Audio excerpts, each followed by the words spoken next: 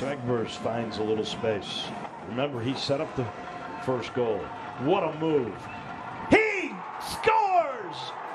Found the left corner with a great move.